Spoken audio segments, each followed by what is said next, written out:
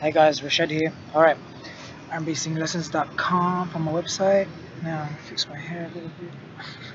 Alright, so I'm going to show you how my range has changed over time. I've got a lot of before and afters on my website. Now, I really recommend you watch them all because they're really powerful. I'll just show you where they are. So there's my website. You can go My Singing Transformation. If you click up there, you can see a list and they're all before and afters. It's very interesting. Go watch it. It's really fun. So this is taken from one of them or from a few of them. I'm just going to go through a few files. Okay, I'm going to show you how my range is transformed over time and we're going to show on the piano like what the notes are and all that kind of stuff and you can hear the differences of the notes okay so just a little thing sometimes your notes uh, your notes will grow higher but not only do they grow higher but the ones that you already had when you started sound better when you train okay? So the way I trained I didn't use scales or any special programs. What I did is I take songs and I make songs into exercises and I made range exercises out of songs. So if you want to learn how to do it you can buy my course or come see me and I'll show you how to do it in the lesson alright? It's a real fun way of training and this is how I train my voice without any exercises uh, of that aren't song based so these are all from songs. Have a listen and you can watch my practice videos as well to see that let's have a listen and see the difference of um, how you can you know improve your range. So I'm going to show you a clip from the original singer of a song of a very high note. I think it's a C sharp. Uh, and let's have a listen and then let's see me and how I used to be and how I am now. And you can hear compar comparisons. That vibrato hurts. Okay that was pretty hard. I probably can't even sing this bit now but let's hear the original singer Mark sing it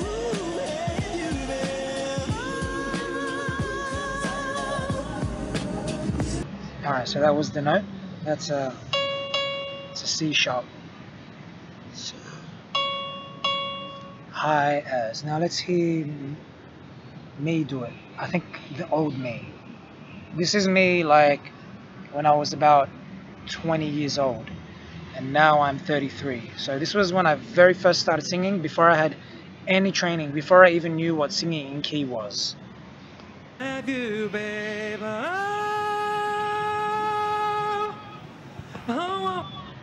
You, babe? Alright, that, was... Uh, I was doing a G sharp. That's, of all my old recordings, that's the highest note that I've found that I ever done in any of the recordings. So I did a G sharp. Notice how it's one, two, three, four, five. Five keys lower. I didn't sing the song five keys lower. What I did is I didn't used to understand key. So instead of singing it like an octave lower and staying in key, I just sang as high as I could, even though I was changing key. So I didn't know I was making that mistake. And obviously my vibrato is very shaky there. So that's the old one. Now let's listen to, this is a recent, me trying to do it now, my current voice.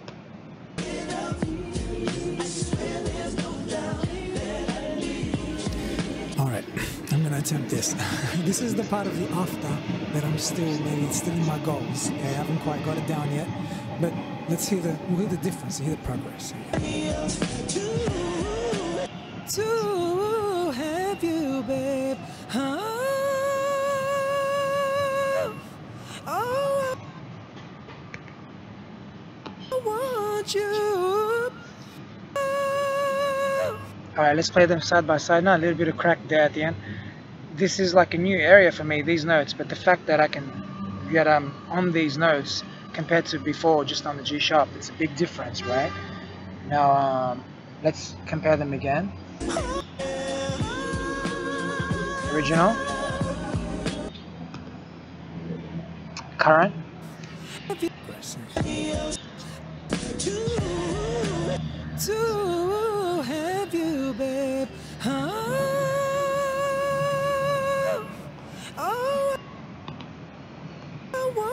You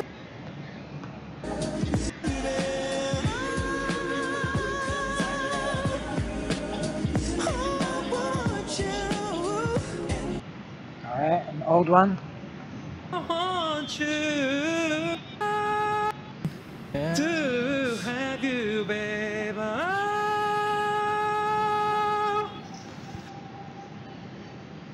Oh, I want you.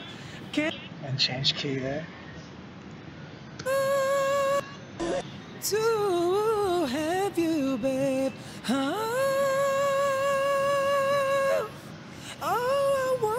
Want you. Alright, you got to hear some difference. Now I want to show you that's much higher note, okay? So I want to show you how the G sharp, how that note sort of changed as well, okay? So let's hear it in some different contexts. So this is me singing live, or just some higher notes. This is recent too, just about two weeks ago.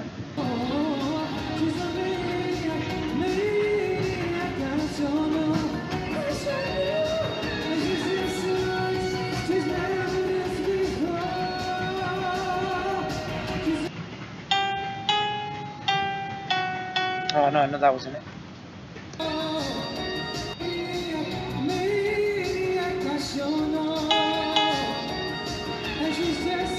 The me, me does a G sharp, okay? So hear how that sounds compared to To have you, babe. The way that sounds compared to me.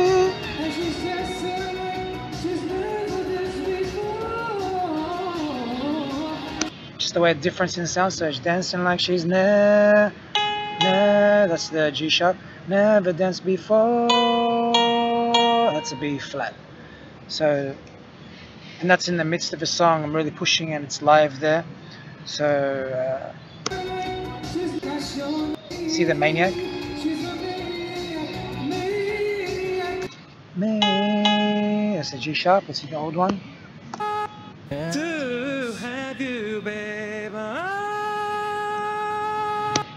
See how like you can hear the difference in the note? Oh, look at that freeze. now here's another example of uh, some high notes. This is recent as well, a few weeks ago. Make, make, make. Oh. That's the G sharp. Now see like it's kind of there's much less effort for me to create a G sharp now. You can hear it there. There's I'm not really pushing that hard to make it. Make, make, make me. Let's see the old one.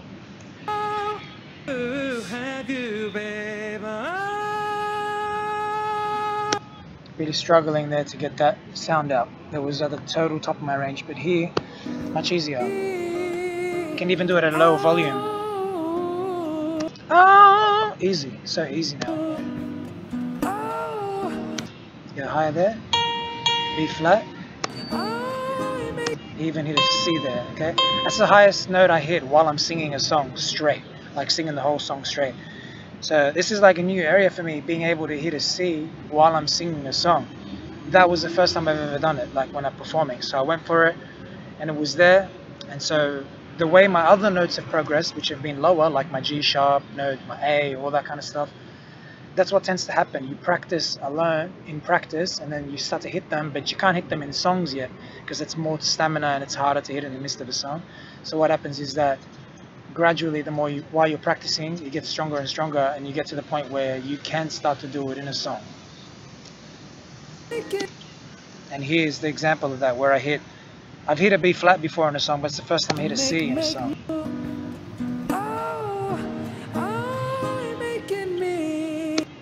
And I was playing guitar, which makes it a bit harder too.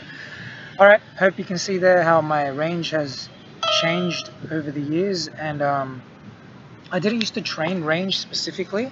I just used to go to karaoke and belt my head off and I didn't really know what I was doing until until maybe four or five years ago I think I started to train range but still not consistently like maybe once every couple months going to karaoke and belting did train my range train my volume but um but there's now a different kind of range I do where I take the song I drop the key down six keys and I gradually work up. And sometimes I hang around in those lower keys and just do repetitions of the phrases from the song that I'm trying to get in slow motion. So come to classes and I, I just gave you the technique there but um, if you don't get what I mean watch my practices or come to a class with me and I'll show you how to do it. The technique is easy but the practice is hard so you got to do the practice regularly I've been doing it now I still don't train range often because I find ra- training range very taxing. Like it's it's more difficult than training the rest of your your comfortable sort of area range. So I train range maybe once a fortnight. Like if you averaged it out. Sometimes I'll do it twice a week, but then I'll like take weeks off. You know what I mean? So I probably train train it once or twice a fortnight for about 10 or 20 minutes. You know what I mean? Sometimes I'll train it like three times a week, but then I'll give it a rest for a week or two because it's very taxing because you're stretching, you're pushing your muscles like to the next level limit, you know, to stretch higher. So I try not to do it too often because I find it that it's more tiring than the rest of my training, which is in my more comfortable range. Um, and remember, like all the singers that get nodules and stuff, it's, it's always singers that sing songs that stretch their range to the limit and they sing them regularly. So pushing your range too often, my experience, my personal experience, I find it's it's very tiring and taxing on the voice. I have not only the celebrities are they getting nodules from pushing their range too often, but also some of my my close friends that I go to karaoke with, they've had knee scares with their voice, like where they lose their voice. I had once where I used to like, it wasn't actually from singing, it was from shouting. I used to do shows and host shows, I used to have to G people up and like, come on and shout, like, yeah, let's get into it, alright, everyone clap. And I used to like shout really loudly, and I did it a bit too much. I think we had busy season in summer, and I used to shout too much, and actually hurt my voice by not taking proper control of how I would shout, how high I would shout, like the pitch that I would shout at. Try to shout at too high in my range, and ended up um, ended up like my voice got really tired and I lost some of my upper range for a while. And that was my first scare, my first big scare. It happened about three years ago, two, three years ago, I think. It was the first time I had a scare with range. And um, a few of my friends had similar stories from karaoke. They're like, oh yeah, I used to be able to sing higher, but now I really struggle to get high notes. And I actually had nodules on their voice, like they went and got checked. And um, they just had to rest, man, like just doing too much, hosting too many shows, singing too loud, like in the car, jamming, or at karaoke. Too loud, too often, too high. So be careful with your voice. Don't train range too often. A lot of um, people I know, I knew from like choir and stuff like that, told me they hurt their voice um, during classes. Like they go to classes and uh, with teachers and stuff, and, and it hurt their voice just from doing exercises because a lot of the exercises are range based. They make you push your range a lot in the scale type exercises, they continue to go up in key. Doing that too often is very taxing, uh, especially if it's out of your comfortable range. Alright guys, a little bit of a story there on the end for you as well. Hope you uh, can see like it's worth it. Dedicate yourself, train your range, um, and uh, but don't don't just train your range. Singing well is not just about range. It's about a lot of other elements which I'll go through in another video. See ya. Bye.